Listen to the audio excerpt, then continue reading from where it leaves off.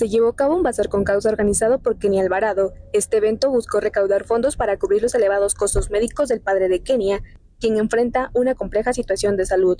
La iniciativa surge en un contexto de crisis sanitaria, donde los hospitales públicos de la ciudad se encuentran saturados debido al incremento de los casos de COVID-19 y dengue.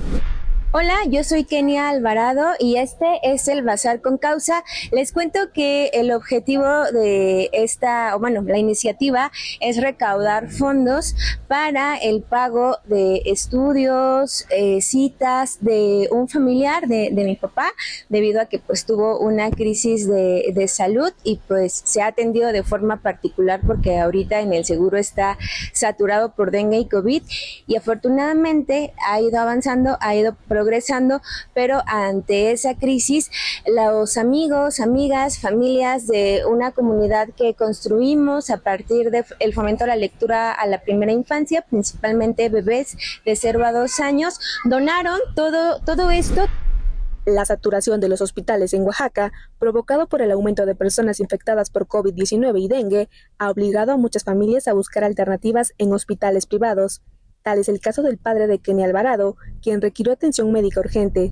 Sin embargo, los elevados costos asociados a los servicios de salud privados se han convertido en una carga económica significativa para la familia. Ante esta situación, Kenny Alvarado decidió organizar un bazar con causa, una iniciativa que se llevó a cabo con el objetivo de recaudar fondos para hacer frente a los gastos médicos. Todo, todo esto, todo esto es donado, es ropa de los bebitos, las bebitas que son lectoras en las bebetecas y pues justo el producto que más hay en su mayoría es ropa para bebés de 0 a 2 años y una que otra ropa de, este, de las mamás que han donado. Si gustan...